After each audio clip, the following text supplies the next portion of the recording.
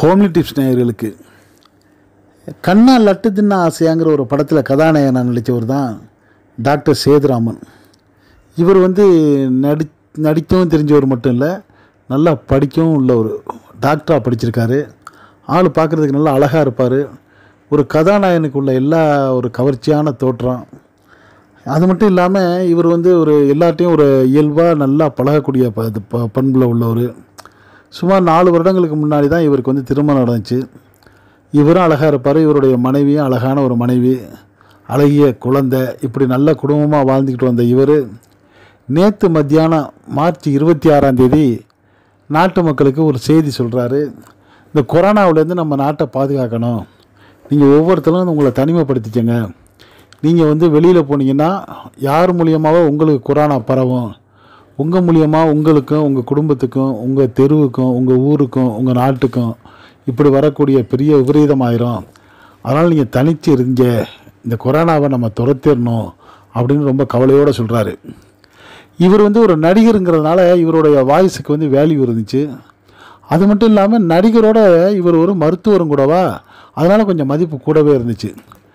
எல்லாருமே இந்த கொரோனாவை பற்றி வாய்ஸ் கொடுத்தாலும் இந்த டாக்டரும் நடிகருமான சேதுராமன் வந்து ரொம்ப உணர்ச்சி வசப்பட்டு உண்மையாக உள்ளத்துலேருந்து வார்த்தைகளை வடித்தார்னு தான் சொல்லணும். இப்போ உதாரணமாக சொல்லுவாங்க அறுபத்தஞ்சி வயசு ஒருத்தருக்கு ஆயிட்டா அவங்களுக்கு வந்து நோய் எதிர்ப்பு சக்தி கம்மியாக இருக்கும்பாங்க. இந்த கொரோனாவை கூட அப்படி தான் சொன்னாங்க. முதியோர்கள்லாம் வெளியே போக வேணாம்னு சொல்லி. காரணம் வந்து அந்த வயது முதிர்வுல நோய் எதிர்ப்பு சக்தி இல்லாமல் போகுங்கிறது தான்.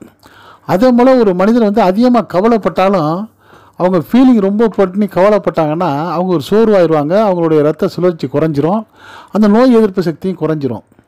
அது போலவோ என்னமோ தெரியலை நேற்று மதியம் வந்து இந்த மாதிரி கொரோனாவுக்கு மக்கள்லாம் தனித்து இருக்கணும் ஊரடங்கை வந்து அனுசரிக்கணும். மத்திய மாநில அரசு சொன்னதெல்லாம் நம்ம கேட்டு நடக்கணும். அப்போ தான் நம்மெல்லாம் காப்பாற்றிக்க முடியும் அப்படின்னு ரொம்ப கவலை தோந்த முகத்தோட அவர் வந்து ஒரு மக்களுக்கு செய்தி சொன்னார். செய்தி சொன்னதும் மட்டும் இல்லாமல் அதையே அவர் ரொம்ப ஃபீல் பண்ணி திங்க் பண்ணி ரொம்ப உணர்ச்சி வசப்பட்டு சோகமாக இருப்பாருன்ட்டு நம்ம நினைக்கிற மாதிரி இருக்குது அதனுடைய விளைவு பாருங்கள் அவருக்கு நேற்று இரவு எட்டு மணிக்கு வந்து திடீர்னு வந்து ஒரு நெஞ்சுவலி மாதிரி வந்திருக்கு. அவங்க குடும்பத்தார் அருகாமையில் உள்ள மருத்துவமனையை கூட்டிகிட்டு போயிருக்கிறாங்க. அங்கே போய் சிகிச்சை ஏதோ முதலுதவி மாதிரி செய்ய ஆரம்பிச்சிருக்காங்க. கொஞ்ச நேரத்தில் மக்கள் நலனில் அக்கறை கொண்டிருந்த அவரை இதயம் வந்து ஓய்வெடுக்க ஆரம்பிச்சிருச்சு. அவருடைய உடலை விட்டு அவர் உயிர் பிரிஞ்சிருச்சு. பக்கத்தில் இருந்த உறவினர்கள்லாம் கதறி அழுகுறாங்க. நாலு வருஷத்துக்கு முன்னாடி தான் கல்யாணமாகி நல்ல ஒரு கணவனாக இருந்த தன்னுடைய கணவன் வந்து பிணமாயிட்டாங்கிறத கனவுலையும் நினச்சி பார்க்க முடியாத அந்த மனைவி கதறி அழுத காட்சி அங்கே கூட இருந்த அவங்களுடைய உறவினர்கள் எல்லாம் நெஞ்சு பிழிய வைக்கிற மாதிரி இருந்துச்சு. இந்த சேதுராமன் வந்து நிறையா ரொம்ப நண்பர்கள்ட்ட வந்து ரொம்ப அன்பாக பழகியிருக்காரு. திரைப்படத்துறையில் அவருக்கு சந்தானம் அனிருத் ஜெயம் ரவி இது போன்ற மிக பிரபலியமானவங்கள்லாம் இவருக்கு நெருங்கிய நண்பராக இருக்காங்க.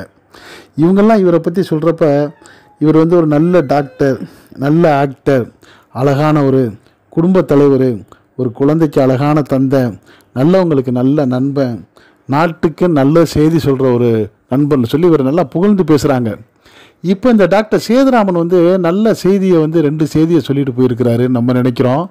ஒன்று என்னென்னா இந்த கொரோனாவுக்கு நம்ம தனித்திருந்து மக்கள் இப்போ அதாவது பரவல் இல்லாமல் இந்த கொரோனாவை விரட்டணும் அப்படிங்கிறது ஒரு செய்தி.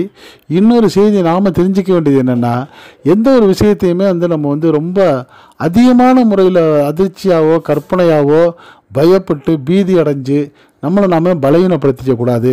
அதே சமயம் அலட்சியமாகவும் இருக்கக்கூடாது. அதிகமாக பயப்பட்டு நம்ம வந்து பலகீனமாகவும் ஆயிடக்கூடாதுங்கிற ஒரு செய்தி இவர் மூலியமாக நம்மளுக்கு கிடைச்சிருக்கு. எப்படியோ நல்ல தகவல்களை நாட்டுக்கு சொல்லிட்டு சென்றிருக்கிற டாக்டர் சேதுராமன் அவர்களுக்கும் அவருடைய குடும்பத்துக்கும் அவருடைய நண்பர்களுக்கும் திரைத்துறையினர் எல்லாருக்கும் இந்த நம்ம ஹோம்லி டிப்ஸ் மூலியமாக நம்மளுடைய ஆழ்ந்த இரங்கலை தெரிவித்துக் கொள்கிறோம்.